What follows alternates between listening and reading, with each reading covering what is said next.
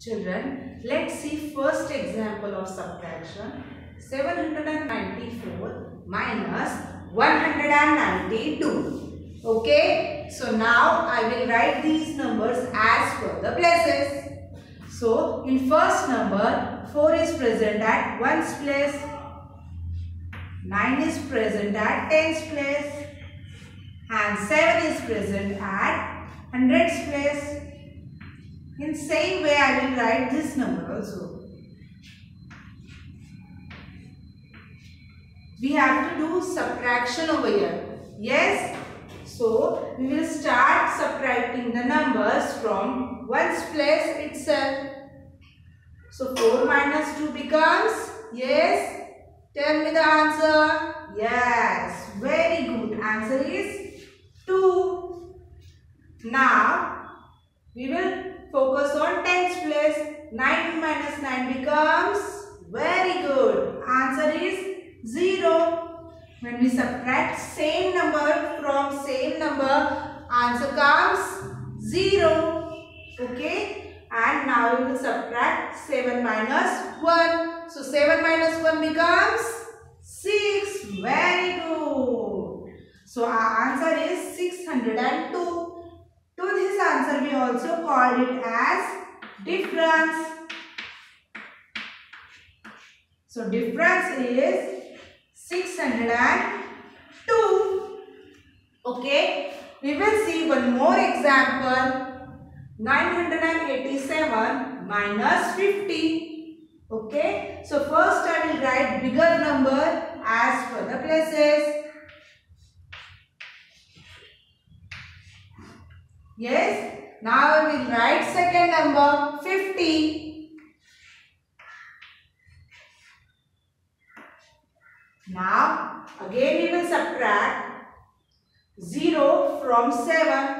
Yes, tell me answer. Very good. Answer is 7. Why? Answer is 7. Yes. Because whenever we subtract 0 from any number, answer remains itself. Yes. Now, 8 minus 5. Yes, I am waiting for your answer. Yes, answer is 3. Very good. And 9 will remain as it is. Yes. So our answer is, or difference is 937. I hope all of you have understood the sums. Okay.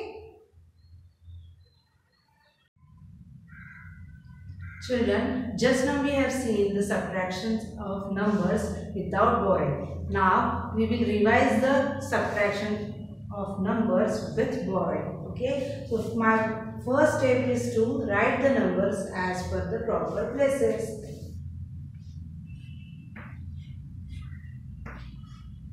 In same way I will write second number Now we will subtract the numbers.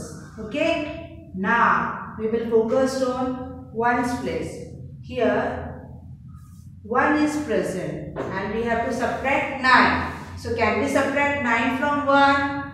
No. So what we have to do? We have to borrow number from this 9.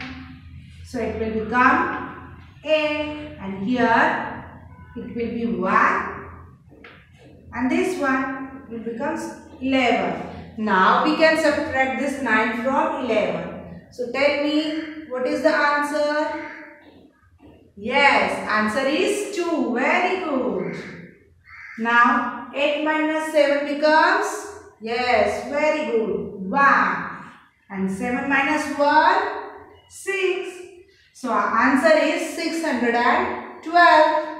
So to this we also call it as difference. Yes, very good.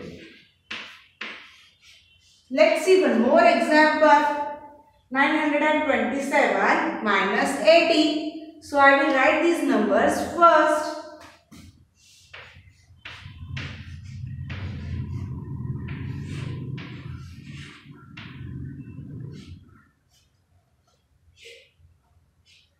Yes, tell me 7 minus 0 becomes 7. Very good because whenever we subtract 0 from any number, answer remains itself.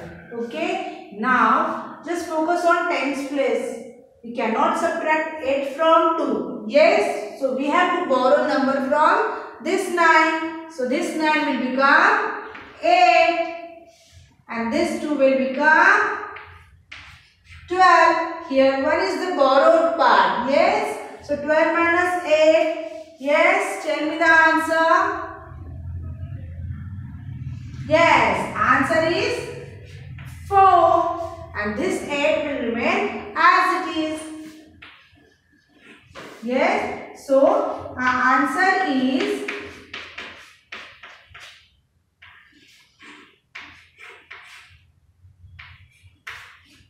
847 children. I hope all of you have understood this revision sums.